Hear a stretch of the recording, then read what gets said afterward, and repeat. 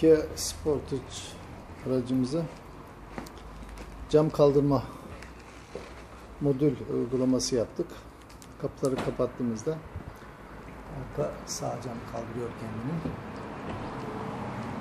Arka sol cam kaldırdı. Ön sağ cam ve şoför camını kaldırdı. Cam kaldırma modül uygulaması yaptık. Kia Sportage aracımıza.